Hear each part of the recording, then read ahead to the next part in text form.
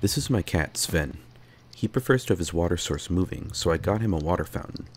He's happy with it, but due to my current living situation, I need to keep it in my room, and I find the constant sound of the water moving very annoying. To solve this problem, I came up with a simple inline motion sensor switch.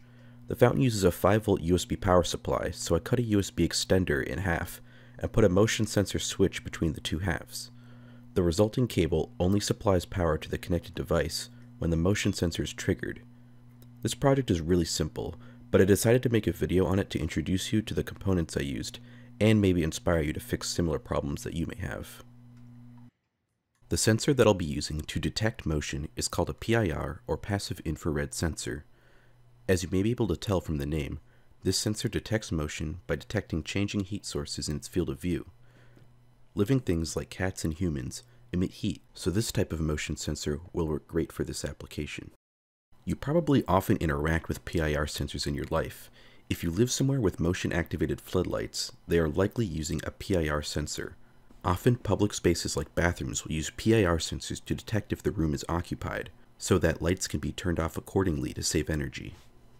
The other core component of this project is a MOSFET. MOSFETs are capable of handling higher current loads than their BJT counterparts, but they behave similarly. Applying a voltage to their gate pin will allow current to flow between their drain and source pins.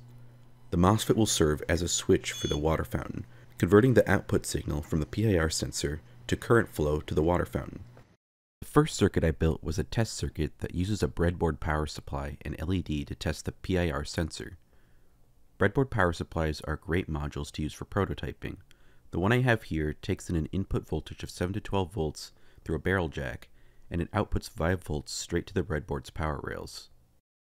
I plugged the power supply into the breadboard along with the PIR sensor module, MOSFET, LED, and 330 ohm resistor, and made connections according to this diagram. You can find more details about the parts I used in the written guide which is linked in the description of this video.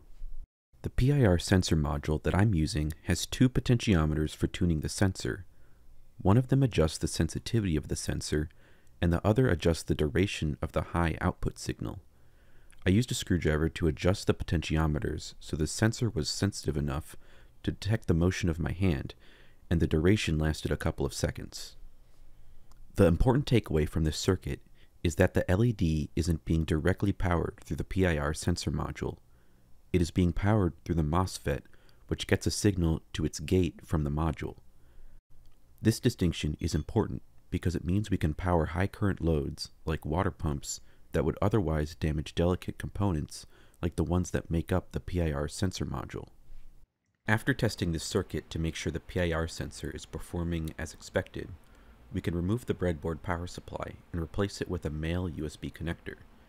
Then we can add an output USB connection using a female connector that we can use to connect loads that get powered via USB. I found an unused USB extender cable which has a female USB connector on one end and a male USB connector on the other. I cut this cable in half and stripped the outer casing at the ends of the split cables.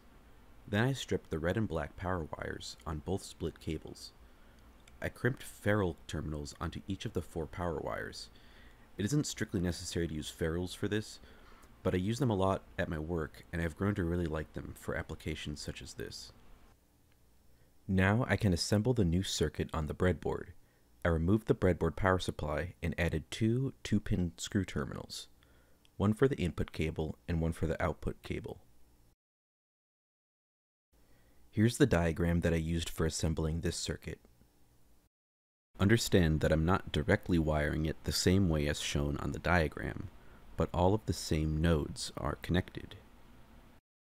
To test this circuit, I plugged the male input USB cable into the 5 volt USB power supply that came with the fountain, and the output cable to the USB cable attached to the fountain. Then I positioned the circuit with the sensor above the area so that the sensor was triggered whenever my cat approached.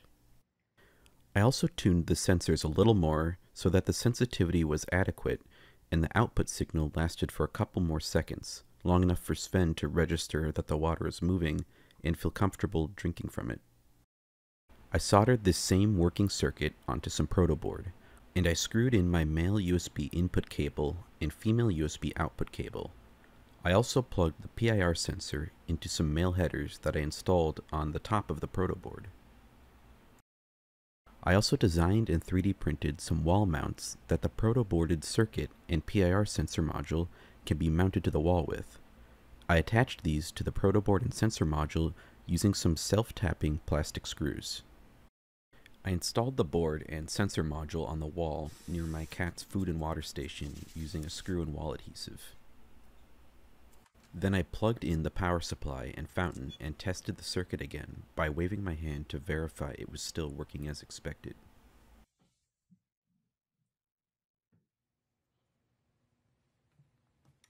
And Sven approves. This was a very successful project and a simple solution to a problem I had. I hope you were able to learn something from this. Thanks for watching. This concludes this guide. If you want to check out more of our guides, head on over to micronote.tech. If you want to support the creation of more guides and kits, you can follow us on Twitter or subscribe to this YouTube channel. Or you can buy a kit from our Etsy store. Any support is greatly appreciated. Lastly, we want to start building Micronote into a learning community in a couple of ways. First, if you have any questions or discussion ideas, you can post them in the community Discord. Second, we want to start adding community content to our website.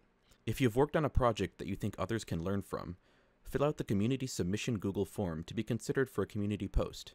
Links to our social media, Discord server, Etsy store, and community submission form can be found in the description of this video. Thank you for watching.